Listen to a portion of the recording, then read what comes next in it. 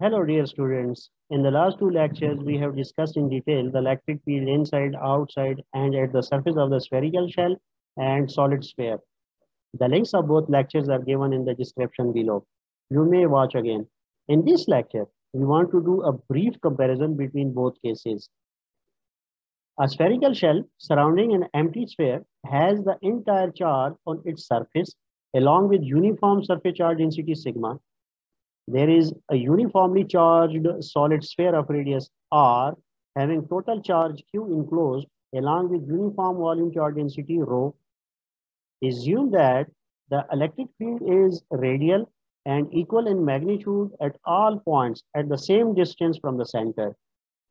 In the first case, while finding the electric field outside of the solid sphere and shell, we find that the electric fields of both are just like that for a point charge. While in, in the case when we decrease the radius of the outside Gaussian surface up to the surface of the solid sphere or shell, we found that electric field is proportional to 1 over r square.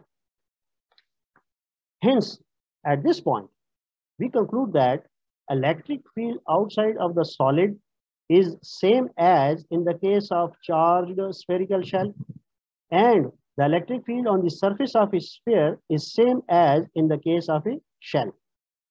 Now to find the electric field inside the sphere, we draw a Gaussian sphere of radius r less than the radius of the sphere. The charge inside our Gaussian surface is q is equal to rho v. q is equal to rho v where V is the volume of the Gaussian, Gaussian sphere. And uh, now by using the Gauss's law, we find that the magnitude of the electric field is proportional to the radius and is uh, directed radially outward. Now, in the case of shell, a Gaussian inside the shell contains no charge because all charges are on the surface of the shell. Hence, we get immediately from Gauss's law that electric field everywhere inside the shell is zero. So now in the graph, we can understand easily the cases of the electric field variation with respect to radius or distance from the radius. In spherical case, the electric field inside the sphere of uniform charge is zero at the center and increases linearly with respect to radius r. We have maximum electric field at the surface and decreases while moving away from the surface uh, sphere, sphere surface.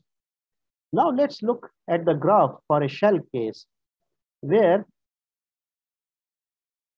shell case where the electric field on the surface of shell is same as the as in the case of the solid sphere.